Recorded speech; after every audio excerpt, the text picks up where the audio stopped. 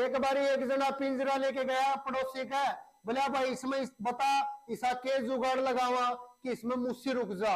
वो बोला भाई कोई गुड़ की डली लगा दे मुस्सी रुक जागी। बोले यार गुड़ की डली तो कौन मारे? फिर नु बोला बोला भाई तो इसके अंदर कोई टमाटर की फाड़ी ला दे रुक जाएगी मुस्सी।